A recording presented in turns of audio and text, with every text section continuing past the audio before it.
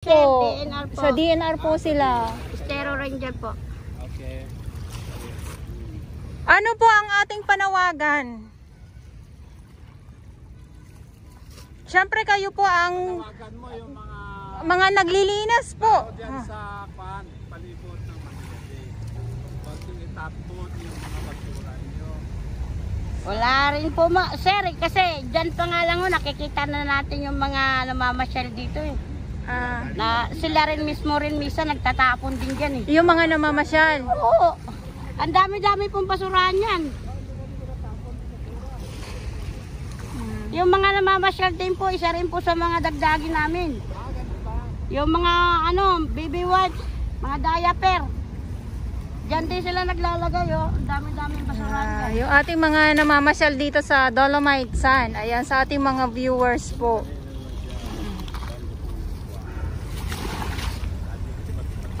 Pero ito mga water lily ito.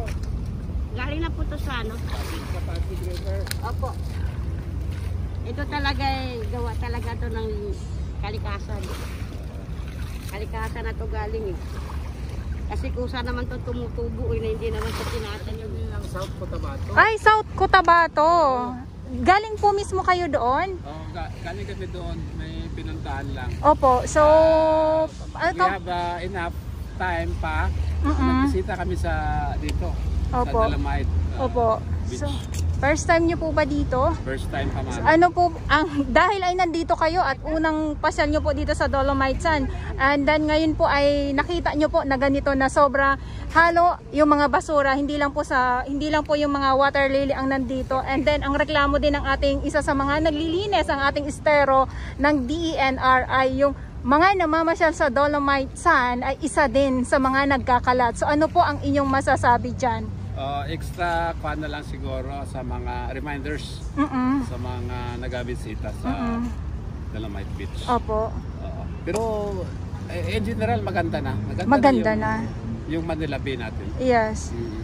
Ah, pagigihan na lang ng bigyan na lang talaga ng pansin. Pansin. Ah, at saka yung sa palibot, Yes po. yung mga residents ng Manila, Yes. dapat mag-practice sila ng proper solid waste management. Mm-mm. Mm. Para malinis talaga yung Manila Bay natin. Manila maganda, maganda ang tingnan kung malinis. Maganda kong tingnan. Pero ngayon po ay, eto nga po yung ating mga halong mga basura. So, ano po sa sa ating mata ngayon, sir? Ah, kulang pa rin, kulang pa rin ang ah, solid waste management. Kulang pa din. At Ayan. saka yung attitudes at saka pa ng mga tao. Yung mga ta- yes po, ayan. Yan po. Mag-behavioral change tayo. Yes.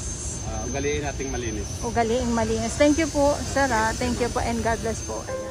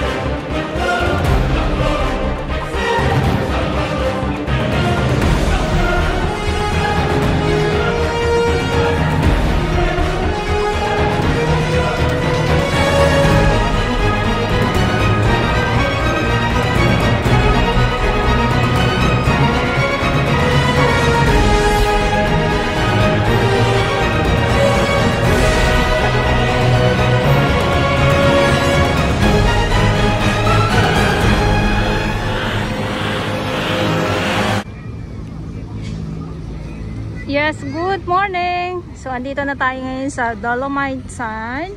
At ngayon ay July 30, 2022. So, good morning po at sa mga baguhan.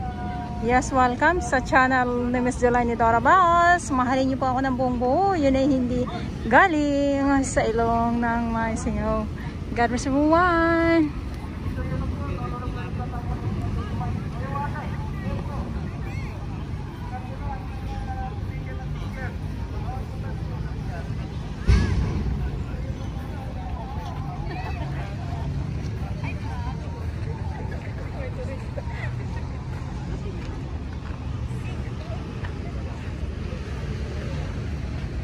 So ngayon ay Saturday, Pinas.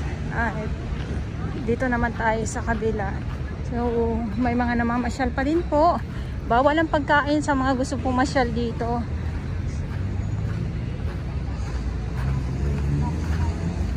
Yan lang po, bawal pa din pong paliguan sa mga nagtatanong po. At syempre, ang ating mga warriors, andito pa din po ang ating estero at ang ating MMDA. Yan, so sila yung nandito nakatutok sa Dolomite. At doon naman sa Manila Yacht Club ang ating ang ating MMDA at ang ating DPS Mandaragat naman po.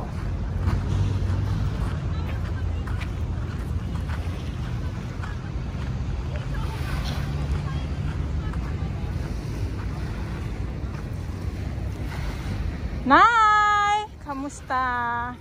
Kamusta po kayo? Christmas. Ay, ang aga ng Christmas natin ah.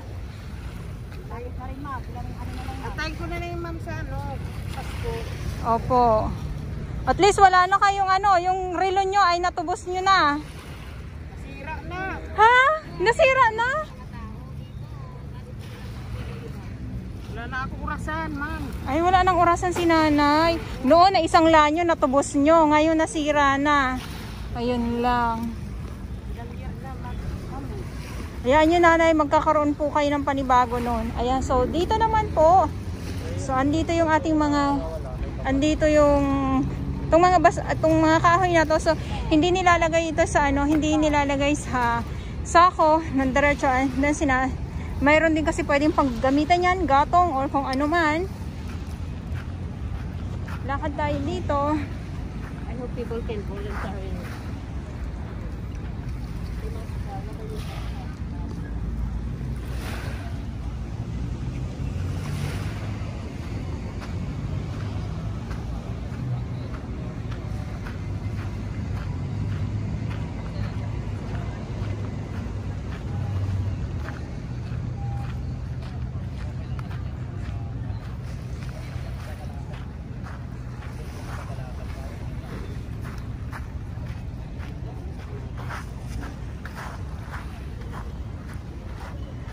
Wow.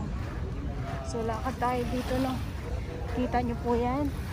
So halo-halo yung mga basura and then ayun nyo, yung mga nasasako na po na nakuha ng ating mga naglilinis.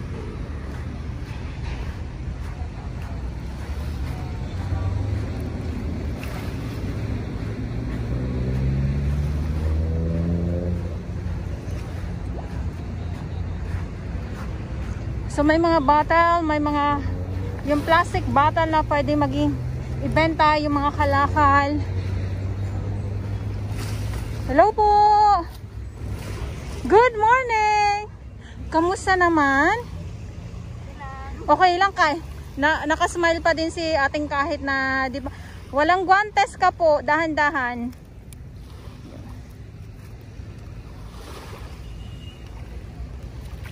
Hindi po masira pag buntis eh. Pag naka ano, yung guantes, kailangan po ba yung manipi? Ah, makapal? Dapat yung katulad nung gamit ko kanina sa yacht club, makapal yun eh. Kinamay na ni ating.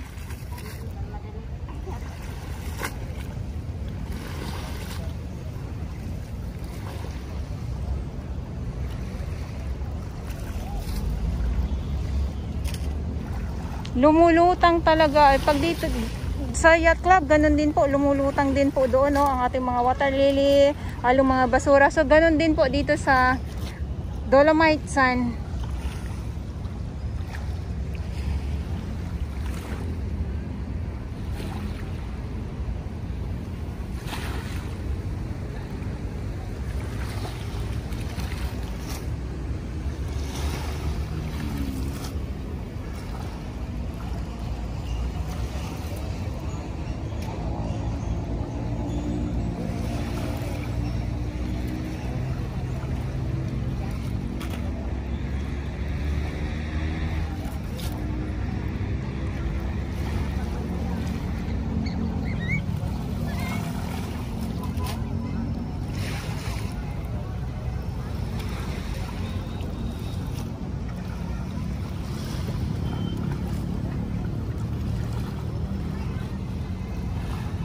Ating meron ka pong nakukuha, napupulot na yung ano, yung EBS. Wala naman. Nalakabalot. Wala naman. Opo.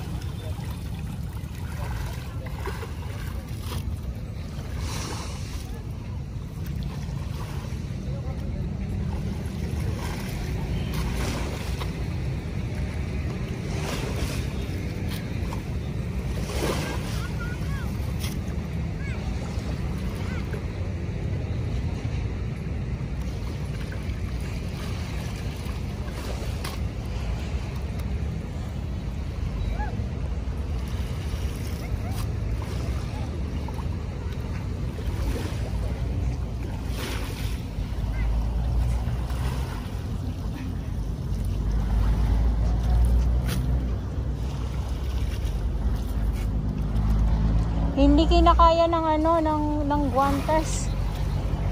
Kaya kailangan makapal.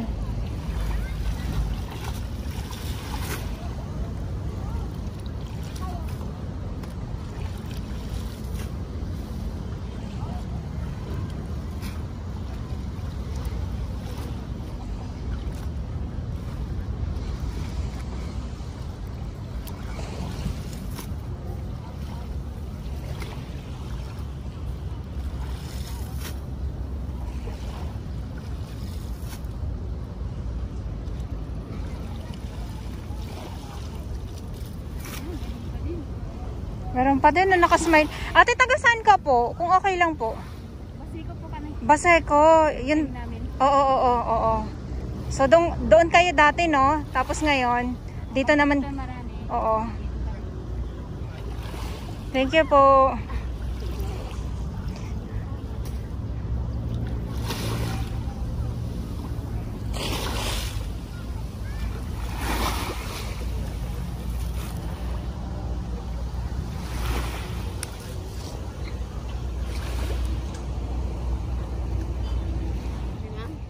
Opo. Kamusta naman kayo dito?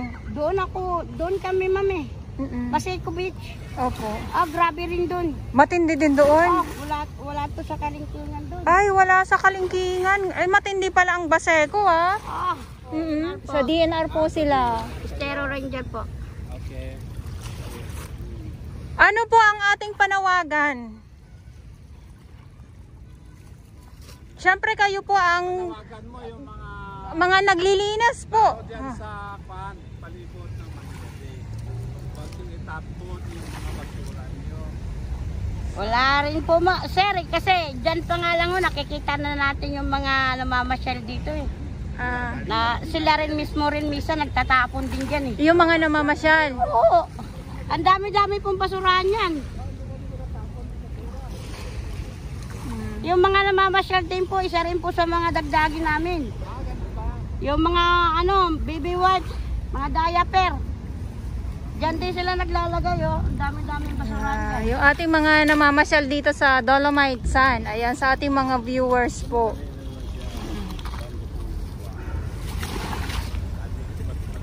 Pero ito mga water lily to. Galing na po to sa ano. Sa Pasig River. Opo.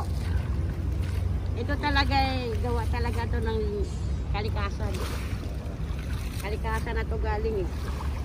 Kasi kusa naman to tumutubo eh, na hindi naman to tinatanim. eh. Ayan. South Cotabato. Ay, South Cotabato. Galing po mismo kayo doon? Oh, ga- galing kami doon, may pinuntahan lang. Opo. So, ano We have uh, enough time pa. Mm-mm. Nagbisita kami sa dito. Opo. Sa Dalamite. uh, Opo. Beach. So, first time nyo po ba dito? First time pa man. Ano po, ang, dahil ay nandito kayo at unang pasyal nyo po dito sa Dolomite Sun. And then ngayon po ay nakita nyo po na ganito na sobra halo yung mga basura. Hindi lang po sa, hindi lang po yung mga water lily ang nandito. And then ang reklamo din ng ating isa sa mga naglilinis, ang ating estero ng DENR ay yung mga namamasyal sa Dolomite Sun ay isa din sa mga nagkakalat. So ano po ang inyong masasabi dyan? Uh, extra kuha na lang siguro sa mga reminders Mm-mm. sa mga nagabisita sa Mm-mm. Dalamite Beach. Opo. Oo. pero eh, in general maganda na. Maganda, Maganda yung, na. Yung Manila Bay natin. Yes. Mm. Uh, pagigihan na lang ng, pan, ng bigyan na lang talaga ng pansin. Pansin. Ah, at saka yung sa palibot, Yes po. yung mga residents ng Manila, Yes. dapat mag practice sila ng proper solid waste management. Mm-mm. Mm. Para malinis talaga yung Manila Bay natin. Manila maganda, maganda ang tingnan kung malinis. Maganda kong tingnan. Pero ngayon po ay eto nga po yung ating mga halong mga basura. So ano po sa sa ating mata ngayon, sir? Ah, kulang pa rin, kulang pa rin ang ah, solid waste management. Kulang pa din. At Ayan. saka yung attitudes at saka pa ng mga tao. Yung mga ta- yes po, ayan. Yan po. Mag ah, behavioral change tayo. Yes. Ah, ugaliin nating malinis. Ugaliing malinis. Thank you po, sir. ah. Thank you po and God bless po. Ayan.